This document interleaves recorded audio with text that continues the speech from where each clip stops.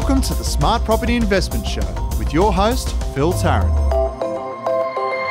G'day everyone, how you going? Thanks for joining us on the podcast today. Uh, recording this on a Friday, so um, Friday's normally a good day here. uh, I, I typically have less going on, and I try and record the Smart Property Investment Show on a Friday. Yeah, you'll find people are in a much better mood on Friday than the rest of the week, so I get better stories coming out of it. Uh, you've been tuning in recently, you know that uh, we're trying to cover a lot of ground at the moment. Uh, there's a lot of uncertainty uh, around property markets. Um, you know, post uh, Royal Commission, there's an election coming up. No one knows what's happening. I saw a piece the other day. I think it was Four Corners talking about, or maybe it was a 7:30 report on ABC talking about uh, what might happen should there be a government change, uh, and there was some pretty good um, insights and analysis around a new report that came out. I think it was from SQM the impact a change in negative gearing may have uh, on property markets. So I think common sense seems to be prevailing. When Bill Shorten first stood up, and I think it was at Town Hall in Sydney, talking about um, the way they're going to be approaching the election this year. This was back in 2016. They, they were pretty adamant about uh, tinkering or changing uh, negative gearing, and I think that may that rhetoric may soften or may have softened moving into the elections and uh, moving forward. So watch this space. But um, I think a lot of the uh, the work and activities and uh, and regulation that was put in place to try and slow down property markets has taken a lot of effect. Uh, but a lot of noise is around housing affordability and helping young people into houses, and I think that's all very cool. Markets sort of dictate the way prices evolve, um, and I think the opportunity for first-time buyers is being able to actually understand how they can enter the market. That might not be buying their dream home initially; it might be starting off it as an investor. And there's a lot of really young, hungry, smart property buyers who are in the, their younger years who are giving away trips to Europe so they can um, make sure they can create wealth through property. And one of them is in the studio with me today, uh, Justin Picker. He's uh, he's built an impressive portfolio. He's only a young guy. Uh, he's 24, 25 years old. Justin, how you going, mate? You well? Yeah, good. Thanks, Phil. How are you today? All right. Did you see that report around uh, this whole negative gearing and helping young people in the properties? You just sit there as a guy who's a property investor going, it's not that hard. Yeah, look, when I see those type of things, there's other ways to get in. So, you know, yeah. that's one doom and gloom aspect, but, you know, thinking outside the box or taking a different approach to it, you can certainly get started. So you've been investing property since when? Uh, so it was about mid 2016. Um, okay. To get my first one. So, um, so how old were you in 2016? Uh, 23. Okay. Yeah, so 23. Sorry, yeah, 26 now. Yeah. So yeah, it was in uh, 2016. I'd um, I just come back from America, did a six month university stint over there, and mm. came back with zero dollars. And I said, look, next time I go away, I do something, I want to have some assets working for me. So that's when I uh, got to researching, had a bit of a look online, uh, went through property, and um, yeah, started to, to research a bit more about that. Mm. And um, yeah, was just working kind of an entry level job, and um, had a little bit of a, a, side hustle on the side, and yeah, just really saved hard for that first deposit. Yeah. Okay. What what, what were you doing in the states? Where were you? Uh, I was in Oregon. So, oh, in Oregon, yeah, okay. It was really, really good. what were you studying? Um, so I was doing communications, uh, public relations. Yeah. Okay. Yeah. And you, what you just sort of did a, a year, a half year abroad or something? Yeah, yeah. Look, there was an opportunity for an exchange, and I was like, look, I'm probably not going to get this opportunity again. So I took it with both hands, and uh, yeah, did a lot of subjects that were a bit again outside the box, a bit left field from my uh, very liberal liberal colleges over there. yeah. Like you, you, probably did you know, anthropology of something or other in look, ancient somewhere or yeah, something. Look, you know? I, I, studied a few things. I studied a medicinal marijuana class actually oh, while oh, I was you? there, and it still counted towards my degree. So I thought that was a bit of a laugh. But uh, I did learn a few things over there, and obviously had a fantastic time. But uh, when I came back, and I was like, "There's no money in my account. You know what? What am I going to do to to move forward?" That's so cool. well, you know, at least you've gone out there and having a bit of fun and. Uh, yeah, which university were you at? Uh, I was at Oregon State. Okay. Yeah, the Beavers. It's a big, Go Beavers. It's a big school, right? It was huge, yeah. massive, massive. Yeah. yeah, probably. You know, the town was about twenty five thousand, but when they had their college football games, you know, that, that stadium yeah, like forty thousand, forty thousand yeah, there, yeah, you know, and it's it was huge. So that's cool, exciting to be right. a part of. So, so you come back and you go on. So, did you had you graduated by then? Yeah. yeah so, okay. well, when I came back, um, I was able to graduate towards the end of the year, and I was like, look, I've got two subjects. Do I go back to uni or do I get cracking and start saving some money? So, okay. got into the workforce, studied a little bit, and then graduated uh, the end of 2016. Yep. But yeah, while I was working, I was just kind of saving and trying to learn as much as I can and, and those type of things. Yeah. And um, yeah, just kind of kind of move forward from there. What job were you doing when you were sort of? So, mate, I was uh, working in sales. I was doing business sales with Telstra. Okay. Like knocking out. Yeah, like, basically. So like door, door to door. No, no, no, business to business. So like over the phone or face to face. Yeah. Um, and you were just selling like you know mobile phones, office packages, solutions. So were you any good at it? Wasn't too bad. Look, not too bad. So yeah. how were you paid? Like a base salary plus like incentivized yeah. with a commission? Yeah, that's yeah. correct. Yeah, so pretty entry level base, and uh, and then you got your commissions on top of that. Yeah. Okay. And um, yeah, so, so you saved all your money. Yeah, saved Most it. it, Um, you know, really just had a look at my expenses and you know worked out a bit of a calculator that okay, I'm going to need you know, this amount to get into property. Mm. You know, really worked out okay, I can only spend this much, and just really tried to limit myself and um, you know really try and build that up. I kind of also had a little bit of a side hustle of um, you know buying and selling things on Gumtree, so like iPhones and PlayStations and all that type of stuff, and that uh, that kind of sunk in while I was working there. So Mm. I, I remember someone had an iPhone brand new for six hundred dollars, and I was like, oh, that's an absolute bargain. So I bought it, and then I was like might hold on to that. And then I was like, actually, I might just have a look at what the market's doing. And I ended up selling it for a thousand bucks. And I was like, there's 400 bucks. The game of arbitrage, buy cheap, Yeah. push it up, and, and, go it out. and I basically have just repeated that process as well as, you know, income for the last, you know, three years. So were, you- were you living at home with your yeah, your live with my Okay. um, girlfriend and her family. Yeah. Okay. So Oh, yeah, yeah. kind of pay a little bit of rent. It's a bit cheaper than, than if we were to move out. So yeah, that and, you know, that with a combination of, you know, the income and, uh, and obviously doing this on the side, you know, it Yeah. certainly helps get those deposits there. How much did you need to save up in order to get into property? So I it was about twenty five thousand. I used so the initial property that I bought was one hundred eight thousand. It's a three bedroom kind of like unit townhouse type of thing Where- up in? Queensland. Okay. uh, in the Logan area. So that was a you know good property to get started up there, Mm. and um, yeah, had a buyer's agency help me with that one. Um, which was good because you know I was just reading and reading, and I was like, look, to Yeah. really take that next step, I want to get some professional guidance. So I did that, Okay. which was good. And then um, yeah, just kind of kept going from there. After that happened, I just got more hungry and you know kept doing deals. And luckily, I won four thousand dollars on the radio, which certainly helped as well. To, How, how'd, you, do that? What was that? Like a radio Look, prize? Yeah, look, my auntie, she she loves competitions, and she just said, look, just enter some of these, you know, competitions, and I did, and they got a call, you know, by default, the other lady got the pers- the question wrong, and I got it right by default because she got the initial question wrong, so that helped, and I was like, okay, look, I'm I'm building a good base here. At least got a headline, you know, Yeah. now, you know, radio prize winner. so Yeah. I was like, okay, this is this is pure luck on this one, but Yeah. you know, so then I just added that to the savings, and then I saved up enough, um, you know, towards the end of the year, so it was about another twenty thousand, and then yeah, bought a bought another property. It was just a two bedroom unit um, in the Moreton Bay area, um, so yeah, around the Caboolture Mm, region, and um, yeah, so that went well, and yeah, basically just kind of kept going from there, and then it was about wasn't too much longer later that. Um, I, another one that where I bought actually come up in the in the complex. So Okay. I was like, okay, well, might look at see what I can do here. And I said, Dad, look, since I'm now investing in property, I get a nice tax return now towards the end of financial year. I said, look, can I borrow a little bit of money just to, to get this one in? It's pretty similar On to the one- basis that you'd give him. The, yeah, and I said, look, mate. And he said, yep, that's that's okay. you charge Uh, interest on it? No, interest free loan. Look, family can be good for that, just Yeah. for that small interest free loan. So I tried not to make it too much. So this is the third property. is the third one, Okay. yeah. So that was a few months later. So So is that back in the place in uh, the Caboolture? Yeah, in that region, Okay, yeah. like one two better. Two better, yeah, very very similar, yeah. So, Yeah. but um, yeah, really entry price point. It was like one fifty, and that one was one fifty three. Okay. Um, and yeah, so then I was just like, look, can I just borrow that? And then I, as soon as I got, Dad gave me that, went through the process, purchased the property, got all the funds together, and then when tax time came back, you know, gave him that. And Did you give it to him straight away? I did. I was Yeah. like, just take it. You got to take it before I spend it. So, Yeah. and then, um, yeah, you know, it kind of went cold for a little bit because I was like, okay, you know, we're, we're doing all right. And Mm. I was having a little bit of time, a little bit of a tough time getting savings and stuff like that because I, um, had actually done my ACL playing rugby and Okay. uh, I realised that the insurance doesn't cover you for that much. So I was out of pocket a couple of grand. So my savings, you know, for that had kind of disappeared. But I did obviously want to make sure I can continue walking and, you know, enjoy life. And, uh, Probably pretty important. yeah, of course, of course. Uh, and then from there, um, I thought, well, I don't really have any personal debt, and you know, this is more of a risky play. But it's again another outside of the box conventional option was I went and got a personal loan Okay. and used that as a deposit. Okay. So, how, how, how big was your personal loan? uh, it was fifteen. Okay. 15,000. At what sort of interest rate were you borrowing? Uh, seven seven point nine nine, which was pretty cheap at the time. Um, as a personal loan? Did, you- did they know why you were borrowing the money?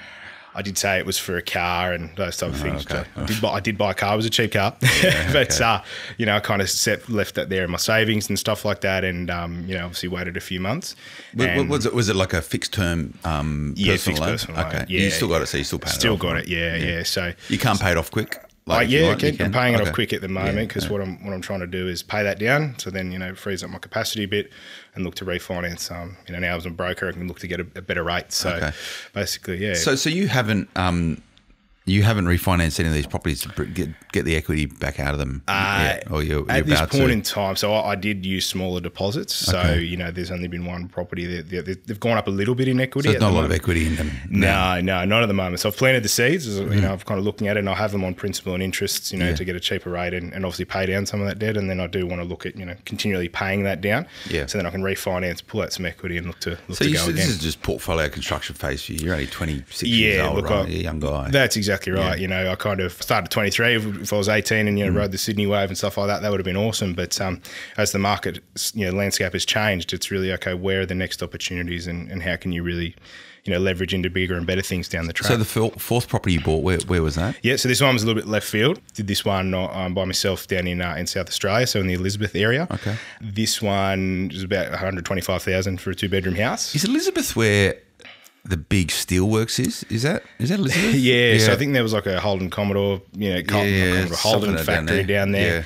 And um, yeah, you know, there was some industry changes and stuff like that. But Mm. um, I know the CBD of Playford are now starting to put, you know, more shopping centres and, you know, put more infrastructure in their communities. So just trying to ride that wave. And yeah, look, it had a, a fresh renovation and things like that. And, you know, was sitting on the market for a while. So I negotiated it down to, to 125 and Gee, you're buying cheap stuff, aren't you? So yeah, like, yeah, really, yeah. Mm. really cheap, and the yields are good. So you know, all the Queensland ones are about seven, seven and a half, eight, and this one here is like a ten percent yield. It's really good. So So your portfolio total sort of enterprise value be about what 800 grand or something. like oh, a Or little bit less than that. Yeah, a little bit less. So, So four properties at 100. Oh, yeah, okay. Yeah, so- 650, 675. So basically, yeah. the total purchase of it all was about six oh eight. Um, look, at the moment, with the current bank valuations, about six fifty five. Okay. With those two units of Caboolture, there's been a sale in that complex for, for one eighty. So Okay. I'm looking to get that revalued. If I can get it closer to that, you know, for both of those, Mm-hmm. that'll really allow me to you know unlock some equity and, and move forward there. So at the moment, it's about 650, 655. If we get it around that price, about seven hundred. But you're covering, you're carrying a lot of debt on that, though. Yeah, yeah. So pretty pretty leveraged, about seventy nine percent LVR, so a bit higher than than Well, most. It's under 80. you yeah, know, that's it. Yeah. There's been a little bit under of 80, LMI yeah. to get in, but Okay. um, you know, for me, obviously, we want the, the growth in the asset, Mm. but because they're such high yielding properties, you know, it all covers itself really. Is it putting money in your back pocket? Is it, or is it just like pretty neutrally geared? Basically, I just have one account when the money comes in, one, one account when the money comes out. So Is, at- is that account going neutral. up or down? Uh, it's basically it's pretty steady. If Okay. something comes up though, like you know, if a tenant leaves or something Mm. like that, which re- the last twelve months has been really good. I want to touch wood. Yeah. That uh, that nothing really will pop up there, but um, yeah, look, it, at the moment it's definitely neutral, um, and then you, know, you get a bit of bonus back at, at tax time as well. So if you did it that way, it'd be positive, but um, yeah, from day to day, it's it's neutral. I'll just pick up uh, something you said. You spoke about LMI really quickly. Uh, Mm-hmm. A lot of people might not be familiar with, with what this is and how LMI, particularly for, for young people, Yep.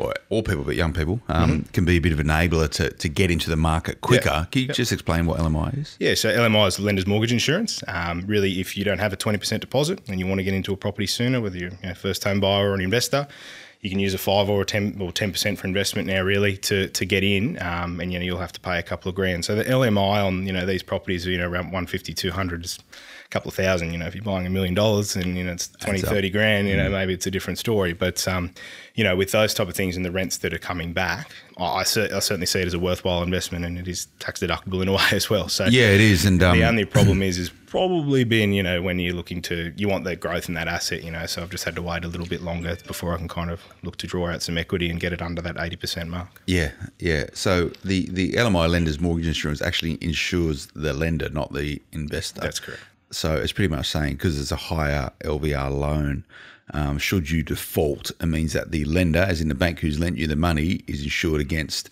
uh, you not being able to repay that debt or any shortfall if they need to sell it or if it goes into foreclosure or whatever. So Yep. yeah, so but, but it allows you to get in the market quicker. Well, that's exactly right. And, you know, and I mean, you know, managing the cash flows and, and stuff like that, you know, Mm. it's okay. They've let me into the into the uh, property quicker. So, you know, if I've got to pay a little bit to, in order to invest and Mm.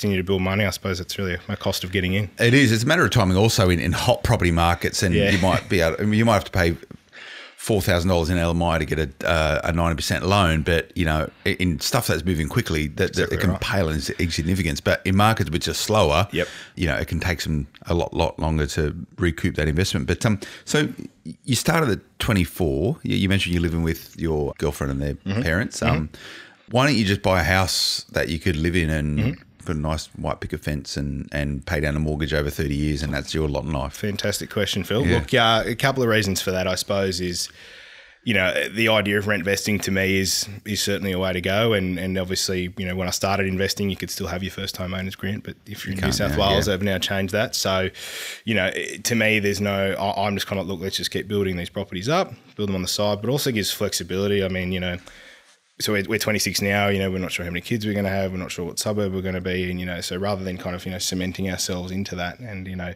in New South Wales the yields are a lot lower. That um, you know, if we buy a house and then you know we've kind of you know maxed out all of our borrowing capacity on that one house, and then we've got to rent it out, and the yield is quite low. You know, we could be negative two, three, four hundred a week. You know, depending on on the market and those type of things. So you know, in terms of that really anyone, if you're able to live at home or you've got cheap rent and stuff like that, it's certainly something that I'd recommend and, and build a property portfolio as well so that you've got some assets building for you in the background. But yeah, I just think it gives flexibility. And once we've got a little bit more certainty and, and those type of things, I'll probably look to use that equity as a deposit for a house later House, on okay, down the so, track. so this is so this this whole rhetoric or mantra around properties um, unaffordable for young Australians and it's impossible to get into the market. Mm-hmm. Is that just a load of BS? Look, What's your view? Co- of combination of both. I mean, Sydney and Melbourne, it can be pretty steep. I mean, you know, if you've and if you've bought something off the plan at the top of the market or something like that, you know, you, you're probably feeling it right now. And and you know, some of those aspects can't be great, but there are other opportunities elsewhere. You know, Sydney and Melbourne definitely a, high price point, but you know, if you live in Queensland or you live in South Australia, you know, there's a lot of value to be had down there, and um, you know, you could certainly purchase your house there and then use that to to move forward. But I suppose any for, for me personally in New South Wales, in um, you know, the Sydney market doesn't really make much financial sense. But- my- but- so it's a mindset shift like you know you have gone I want to get into property so Mm-hmm. you, you bought four properties by the time you're 26 or 27 years Mm-hmm. old right so you've you've highlighted you've shown the way that it can be done so you just need to think about things differently if you think that oh it's imp- impossible to get into a house as Mm-hmm. a young person in, in Sydney because it's a million dollars well yeah okay well, why don't you buy a house somewhere else as an investment you know Well, that's is a- exactly right. I mean, you know, if I look at the, you know, the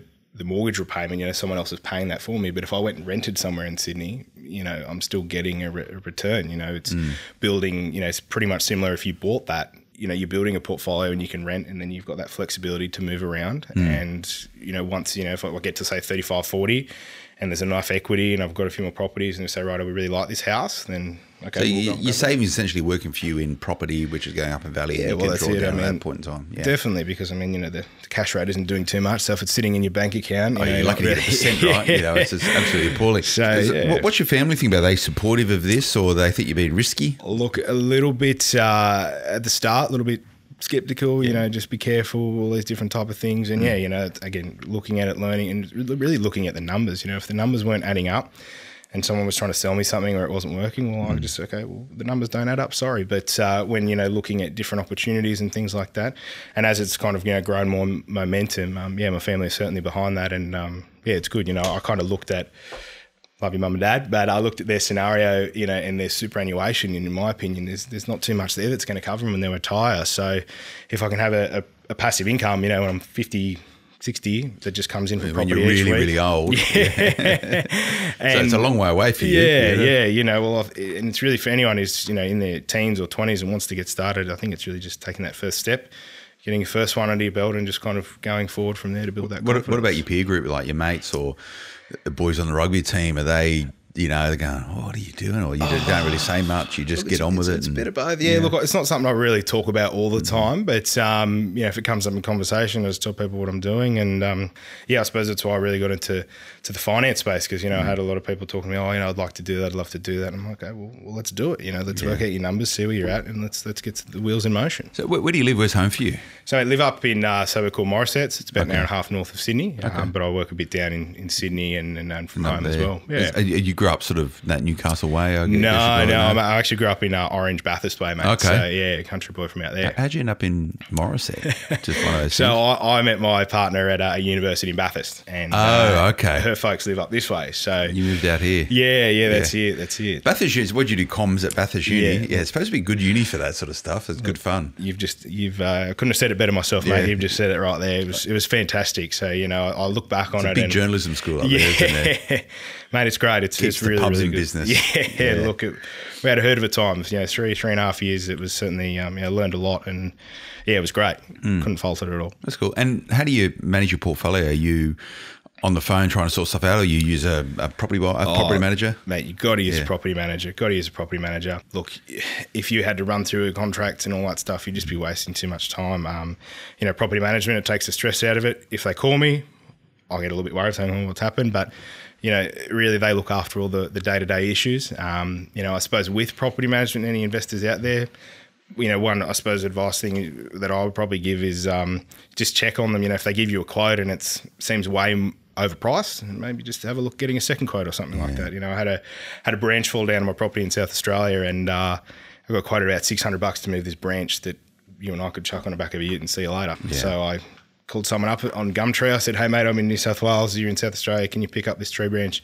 I don't care what you do with the tree. Just get rid, of it. Fifty bucks. It was done. So Happy days. I was like, okay, that's great. That's just avoided, you know, that type of situation. So it's just yeah, just kind of keeping an eye on it and, and those type of things. Mm. But um, yeah, property management all the way for sure. And if anything goes wrong, they'll they'll represent you, and you don't want to deal with legal battles and tribunals and stuff like that. So Pain in the arse. you know, it's such a- so, so for you then, um, so this is sort of you know portfolio building, construction, whatever else. Um, there's lots of ways you can frame it, and uh, it sounds as though the areas that you're buying is is dictated by your ability to raise a deposit, and therefore how much you can borrow and what you can buy. So you know you're, you're you're playing in that sort of 150. 170 up to sort of sub two hundred thousand dollars space. Um, i- Is that where you're going to sort of stay, or are you going to look Oh, to, no, to change your, definitely, know- look to, to go up. I suppose I'll probably look at it a bit like a monopoly board there, Phil. You know, you start with your old Kent roads and Mm. Yeah, those yeah, type of ones and build the base. And So when are you going to end up at Mayfair then and, and Park Lane? well, hopefully Mayfair will be the Do uh, not pass go, right? You know, you stay out of that top Yeah, we'll- left quadrant. We'll make sure we won't go to jail Yeah, yeah. So, but um, yeah, you know, just look to to really kind of build those solid foundations. You know, I've got the good rental yields behind Mm. me there, and unfortunately, it would have been nice for the markets to go a little bit sooner. But I think uh, they're in good areas of growth that hopefully we'll see that. You know, and and really, you know, if we look at statistically carrying it through a cycle, you know, if I carry it through a cycle and then the Queensland market goes up and there's equity there, you know, Mm. I'm definitely going to look at um, looking at higher level. Um, you know, prices above two hundred thousand, still entry type of stuff where I'm getting a good yield. Um, I think you played it well um, in that being on a, a low income, hustling hard with your side, hu- and, that's a real American term, a side hustle, right? You know, making money elsewhere, which is now sort of filtered down in Australia. But you know, you haven't put yourself unnecessarily under undue stress by having to contribute into these properties and finding money to top up the difference between you, you've actually got them neutrally geared um, Yeah. and and and the, the the type of properties and the um the value of the properties you're buying is that you're going to find that you know the, you're going to get reasonable yield on them because you, you're just not going to find somewhere like hundred bucks a week to rent. Right? You know, there's a, it's a base rental price, and you've bought in cheap. So if these things don't go up in value this year, next year, the year, it's not too much Yeah, it's- of an issue. The fact that you are in the market, so you are ready, you're going to be part of that market story of growth Mm-hmm. at a point in time. It might be five years away, but you've mentally prepared yourself and you've mentally got yourself set for uh, having a a career in property investment, right? Because you're in the game, you're learning, right? So, so when you get greater confidence and your capacity to earn increases, you're going to be able to strike and have an advantage over other people who are still trying to get their head around it, right? You know, and that's when you can be a lot more advantageous. Yeah, definitely, mate. And you know, as I said, it's you know, if we hold those down, you know, hope for the for the market to grow up. Mm. As you know, it's it happened a little bit, but you know, we obviously want a little bit more to to go through there. But yeah, you, you're 100 percent right. You know, looking to, to leverage into bigger and better things. Mm. You think you'll stay in Morisset or are you going to move? And Oh, look, Yeah, it's. Uh, I suppose it's the, the flexibility of not owning a property out there. You know, we, if we if we want to pack great. up and move, you know, we, we certainly can, and there's not too many strings attached. So, look, we'll just wait and see what uh, what my partner wants to do. You know, she's kind of supported me with the properties and stuff like that. So maybe we'll. Uh, have you bought everything in your own name? Is that how, have you look, structured it all? Yeah. Structure is certainly important. Um, you know, we've we've discussed that in uh, you know we'll keep the investments in my name until I kind of tap out. You know, we can put some in her name. Look at probably doing the uh, first homeowner scheme in her name. Uh, you know, and uh, you know look to leverage down the track and and see what we can do. But you know, ultimately, if we've got a passive income at the end of the day that comes from property, we don't have to worry about it. Mm. You know, when when we decide to retire, or if you know we can leverage into bigger and better things, just, just gives us options really at the moment. Yeah. How are you keeping yourself sort of informed, educated, growing as a property investor? Like who you're leaning on for advice Oh, you mate. I don't give any advice. Yeah. No, look, I'm not uh, the business of giving advice. It's a disclaimer. I just have a chat with Yeah, people. no, you, know, look, but uh, who- you got a good accountant or Yeah, you know, so I mean, well, now I'm, I'm a mortgage broker in the finance space, so certainly learning a lot about that, and uh, you know, seeing different scenarios. It's really good, you know, talking to people, or sorry, listening to people on this show who come in and Mm. share their stories and you know how they structure things and, and what's worked, what hasn't worked for them. So it's really, you know, and obviously the people I speak to are in all different scenarios. So it's you know really where are those opportunities that you know exist and you know how you can help them through that. So yeah, it's a whole combination of things of you know really listening to stories, having a look at industry changes, see what's happening in marketplaces as well. You know, looking at that and, and really uh, relationships are the key as well. So if you know people you know that can help you get in, lean on. you know, synergy. You got to synergize because it's you know I couldn't have done it all myself. That's for sure. I've had to help. Well, yeah, you seem, you, Justin, you seem a lot uh, wiser than your 26 years. Um, Thanks, mate. I'll take that. It's, it's a compliment. You know, the fact that you're giving a red hot go, Hmm. you know, it's something to be said about that. So, you know, this goes back to the point of if you're listening to this and you're in your 20s and, and your head is sort of saying, oh, it's impossible to get in the property, I'd love to, you can actually do it. Just Yeah. think of things a bit differently. Yeah, you that's know, it. I think mean, differently. You know, you might be really good. You might be good at making candles. You might be Mm. good at something else. You might have a bar job. You might.